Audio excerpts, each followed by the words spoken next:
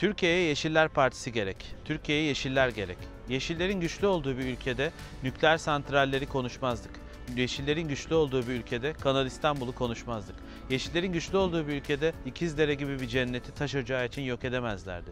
Yeşillerin güçlü olduğu bir ülkede Van'da taş ocağına karşı çıkan köylüleri havaya ateş açarak müdahale edemezlerdi. Yeşillerin güçlü olduğu bir ülkede bu ve bu benzeri parkları yapılaşmaya açamazlardı. Yeşillerin güçlü olduğu bir ülkede bir kararname ile İstanbul Sözleşmesi'nden çıkamazdık. Yeşillerin güçlü olduğu bir ülkede üniversitelere kayyum rektörler atanmazdı.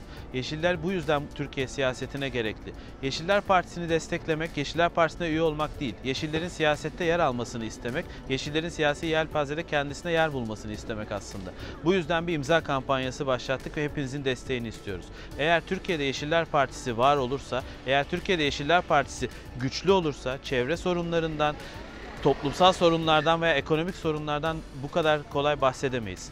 Türkiye'de Yeşiller Partisi güçlü olursa gençlerin umutsuzluğundan, beyin göçünden bu kadar kolay bahsedemeyiz. Hepsine bir çözüm bulabiliriz. Hepsine birlikte çözüm bulabiliriz. Çevre sorunlarına, ekoloji sorunlarına, toplumsal cinsiyet sorunlarına veya Türkiye'de çok etkisini yaşadığımız şeffaflık sorunlarına, demokrasi sorunlarına yanıt bulmak için sizi Yeşiller Partisi'ne bekliyoruz.